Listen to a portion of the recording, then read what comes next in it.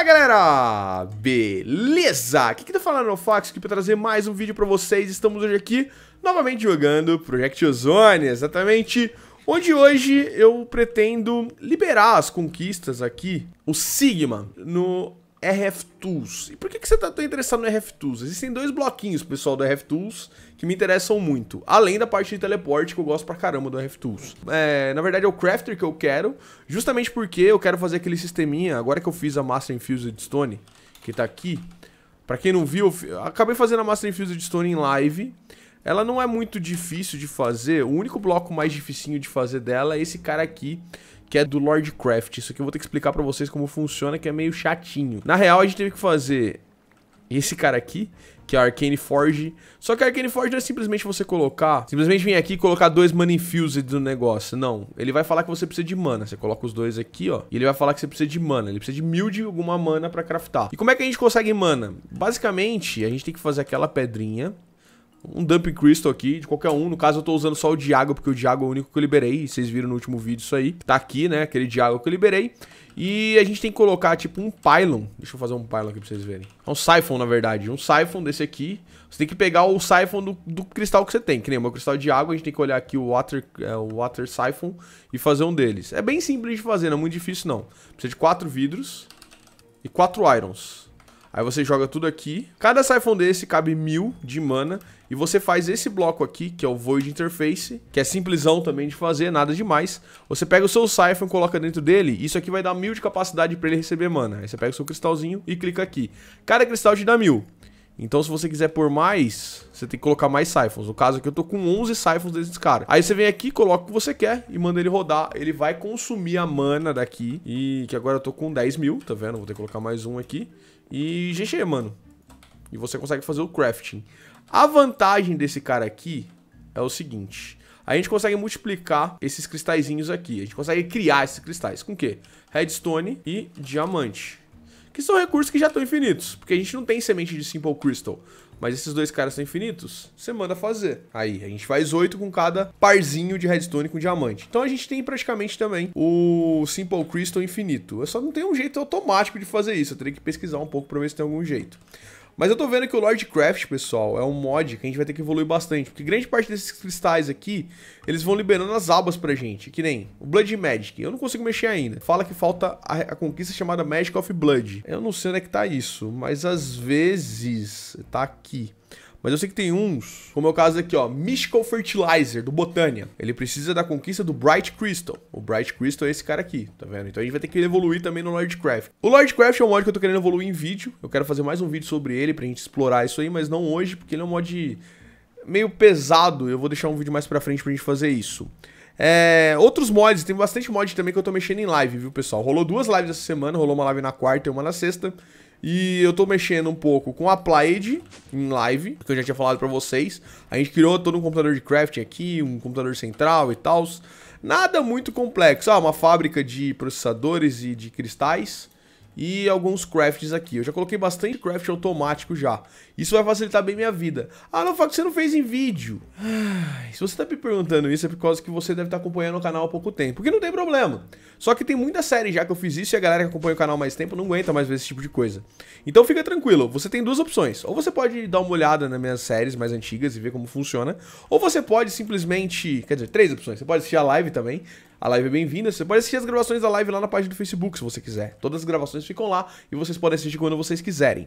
E a, quarta, a terceira opção é simplesmente você me espera, porque eu tô pra fazer um tutorial de Applied, porque acho que é um mod que eu vejo que a galera tem mais dificuldade e é que a galera mais me pede tutorial. Fora isso que eu mexi, foi o Pneumatic Craft. A gente começou a trabalhar no Pneumatic Craft. A vantagem é que o Pneumatic Craft aqui, diferente do NoFoxLand, ele não tá bugando aqui a questão do da Pressure Chamber. Eu não automatizei isso ainda, a questão de geração de... É, de ar, porque eu tô pensando em fazer alguma coisa diferente dessa vez. Eu não sei como que eu vou fazer ainda. Mas eu foi bem no finalzinho da live isso, eu só criei esse compressor e tal. E eu vou evoluir realmente com esse mod em live, porque é um mod que eu já mexi algumas vezes. É, a última vez que eu mexi com ele foi no infinito. E ele é meio chatinho a progressão dele, então eu vou aproveitar e fazer em live, eu consigo fazer mais rápido, mais dinâmico, não preciso ficar explicando as coisas. Se você tiver dificuldade, cai na mesma. Me pede aí no tutorial, me pede aí tutorial sobre ele, assiste as outras séries. a última vez que eu fiz isso foi no Minecraft Infinito, os últimos episódios de Minecraft Infinito eu expliquei detalhadamente como ele funciona. E mas ele é necessário mexer nele porque a gente precisa liberar aqui o mecanismo. E o mecanismo, o machine block dele, que é a machine casing, steel casing, ela usa plástico. Então não tem como fugir disso. A gente vai ter que dar um jeito de criar o plástico pelo meio, por meio do próprio uh, Pneumatic Craft. E eu tenho que evoluir com ele, porque para criar plástico é meio que a última coisa que a gente faz no Pneumatic Craft. Então a gente vai ter que evoluir muita coisa com ele. Mas bacana, voltando a falar do RF Tools, como eu disse, eu quero fazer, pegar essa Master Infused Stone e colocar ela dentro de um Crafter. Tier 3 de preferência pra gente começar a colocar as recipes de Inferium e pegar todo esse Inferium que tá vindo aqui e lotando o meu inventário que aqui já tá no máximo, tá vendo? 262 mil. Eu posso até fazer o criativo desse aqui, mas não vai resolver. Não é muito inteligente armazenar Inferium no sistema. Eu aprendi com o tempo que é muito melhor você armazenar o Supremium, que é o, o tier mais alto. Você manda craftar o Supremium conforme ele vai produzindo Inferium direto num crafter.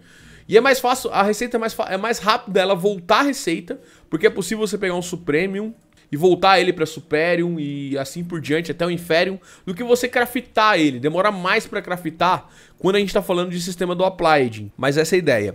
E fora ela, eu quero também trabalhar com o Builder, porque a gente tem duas formas de fazer mineração automática aqui. E tem muito minério que a gente precisa, que não tem como fazer plantinha, como é o caso dos minérios que a gente vai usar hoje, vocês já vão ver. Que é ou o Builder do RF Tools, ou também o Digital Miner do Mecanismo. Só que o Mecanismo eu já falei pra vocês, a gente tem um problema do Pneumatic Craft, então eu tô achando que trabalhar em cima do RFTools é mais rápido. Mas vamos lá. Por que, você não fez ainda então, Nofax? Porque o RFTools também está trollado aqui no negócio. A gente precisa fazer um bloco de máquina. E o bloco de máquina, o Machine Frame, ele é diferente a recipe dos outros. A gente vai fazer esse Hardened Carbon Alloy, que é do Nuclear Craft.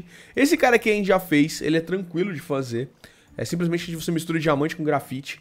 É, eu mostrei isso no vídeo de Nuclear Craft e tá tranquilo.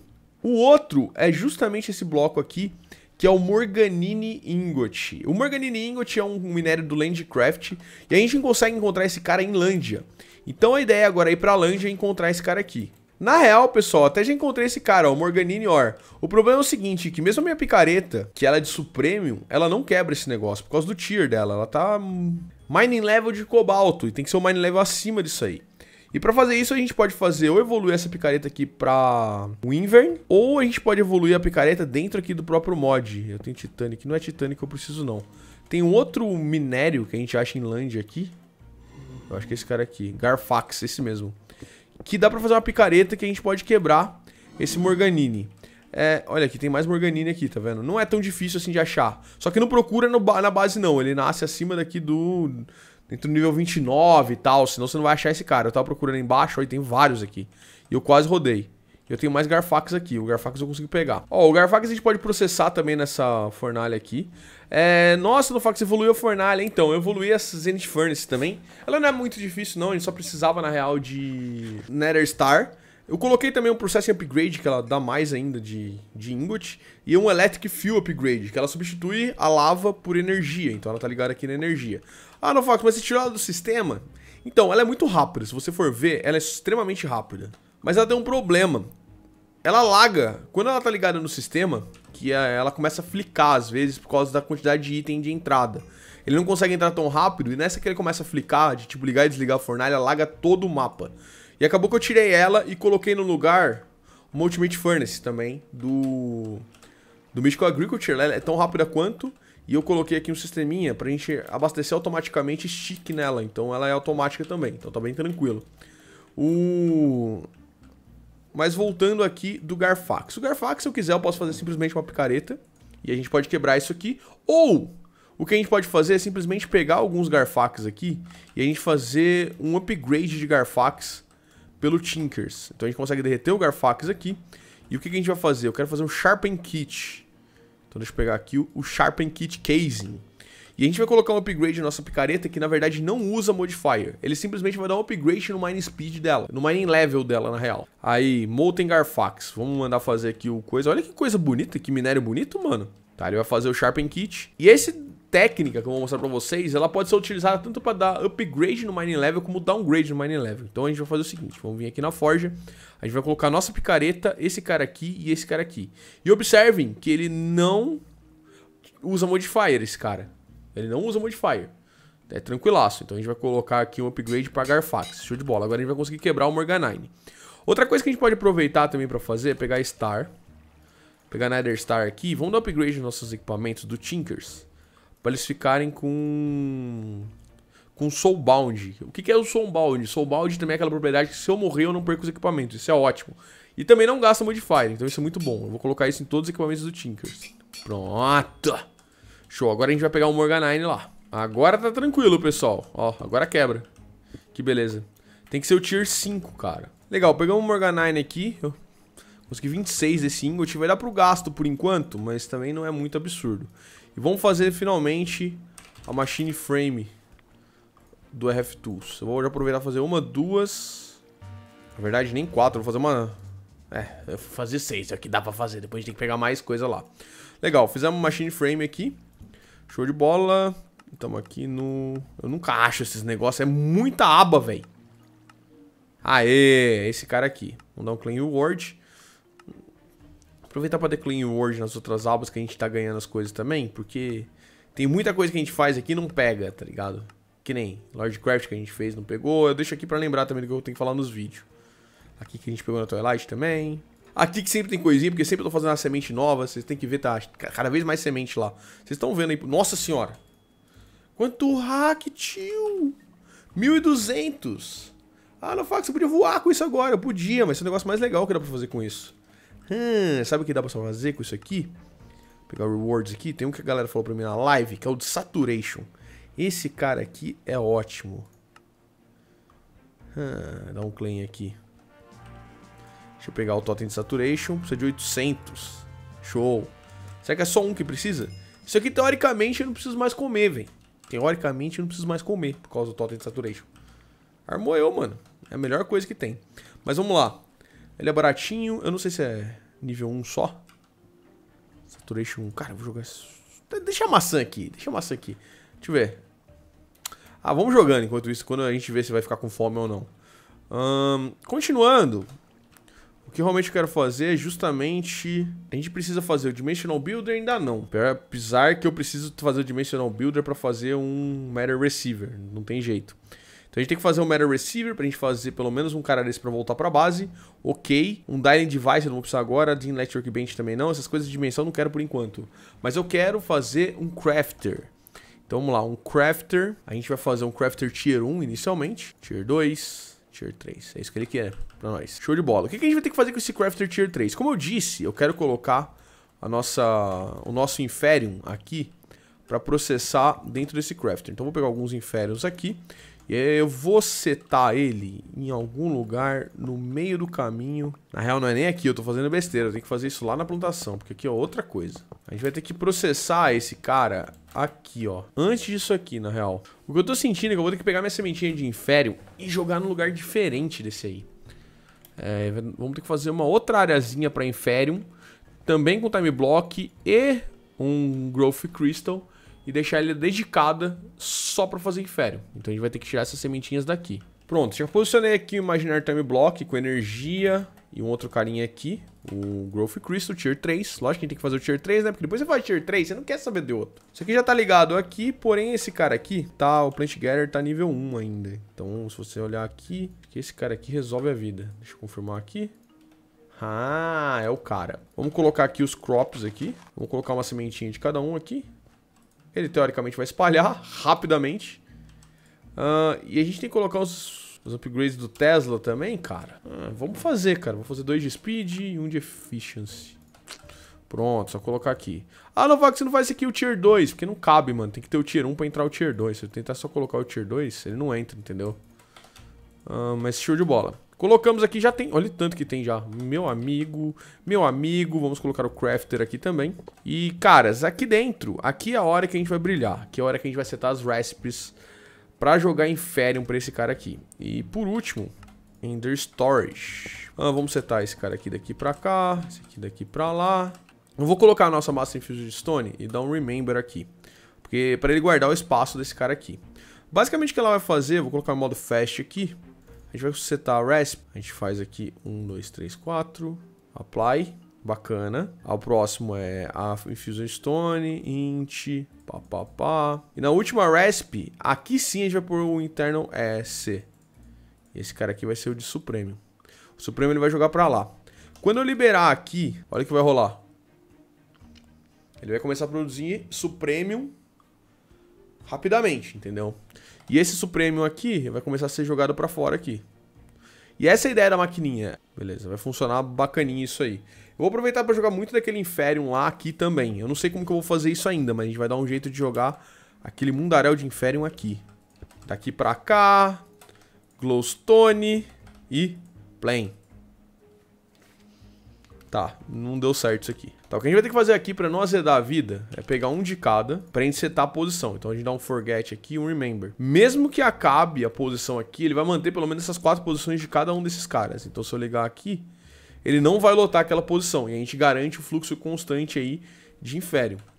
Vai demorar para processar tudo? Vai, mas o importante é que tá aqui e a gente vai acabar processando tudo uma hora ou outra. E o que é mais legal de tudo, a gente tá enchendo o sistema de Supremo. Isso é ótimo. Nossa, tu faz, mas por que você faz assim? A verdade é que porque o Supremo é mais fácil de guardar do que o, super, do que o Inferium. Então, ele ocupa menos espaço no sistema. Ah, mas você tem Barrel.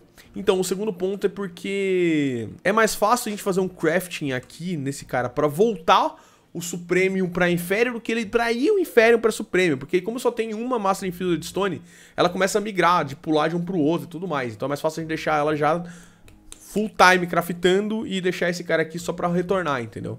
E nesse cara aqui eu vou fazer os upgrades do Yaba também, a gente vai fazer o de diamante e o infinito. Que eu não fiz ainda. Sério que é baratinho assim de fazer infinito? Jurava que era mais caro, mano. Porque eu não quero que... Eu quero fazer Supremo a vida toda. Eu não quero que acabe. Supremo é muito bom, deixa fazendo. Mas no fato, por que você não faz Insênio? Então, cara, porque o Insênio em si, daria até pra fazer. Porque é o mesmo crafting. Mas a gente faz tanto pouca semente de Insênio que eu acho que não vale tanto a pena. E vale mais a pena fazer ela no direto no crafting. Porque o Supremium ainda é usado para fazer armadura, ingot e entre outras coisas. Por isso que eu prefiro guardar o Supremium no sistema. Então só pra gente concluir aqui, vamos fazer o, crafting de Supremium até um, um Inferior. Então vamos colocar aqui. Então a gente tem como voltar isso no sistema, não precisa de Master Infused Stone. Tranquilo, mano, tranquilo. Aproveitar aqui pra pegar o coisa do... Pegar a conquista aqui do Crafter Tier 3. Mas em paralelo, lembra que eu falei pra vocês que eu queria fazer também um Builder? O Builder não é tão difícil também de fazer, ele é super simples. Essa, essa conquista aqui em si não vai dar bloco pra mim porque ela não tem nada pra fazer.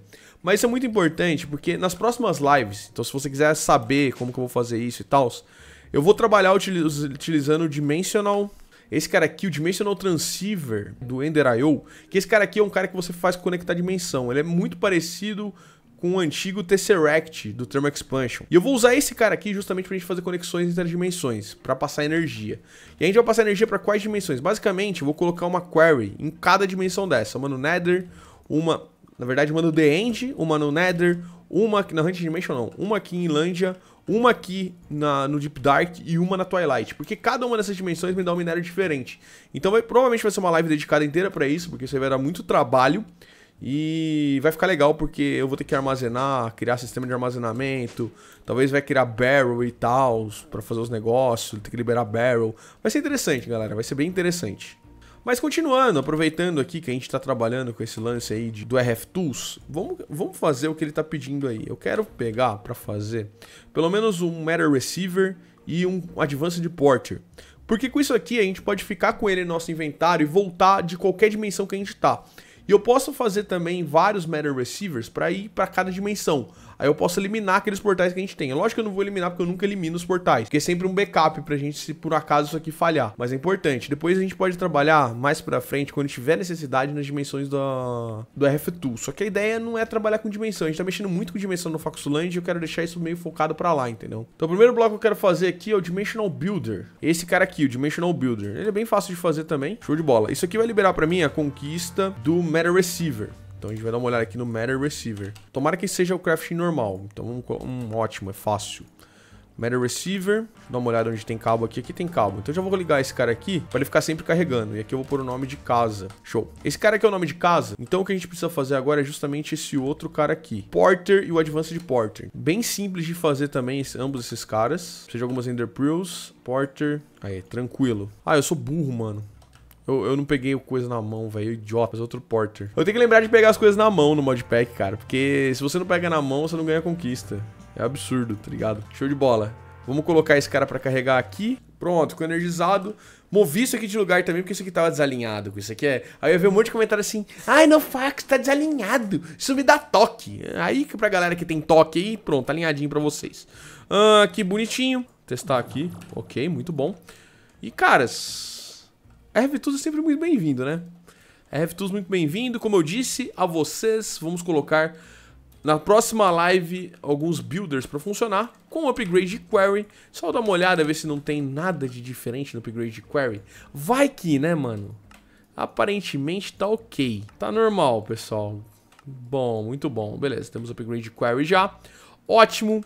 No próximo vídeo, na próxima live, como eu disse, colocaremos iniciando por land. A land é onde eu vi os minérios mais variados que a gente precisa.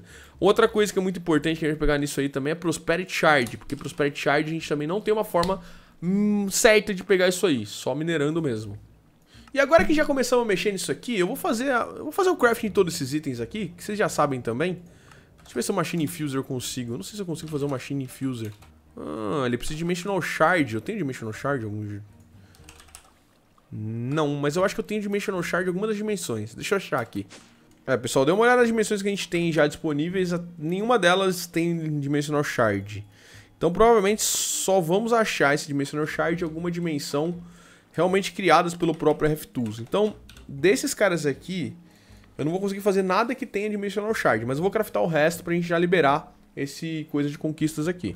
Aí, conforme prometido, a gente vai fazer todos os crafts aqui, tirando os caras que usam Dimensional Shard. Quando for, a gente volta aqui e completa essa aba também. Temos que começar a evoluir aqui para fazer os esquemas. Outra coisa que eu queria ver era as conquistas mais avançadas e ver se dava para acelerar. Porém, manos, não dá pra... Uh, é, ver o que, que pede cada conquista. Então não tem como a gente adiantar nada, na real. Temos que ir até o final, liberar tudo, aí sim a gente vai conseguir ver isso. De qualquer forma, eu queria mostrar mais uma coisa pra vocês.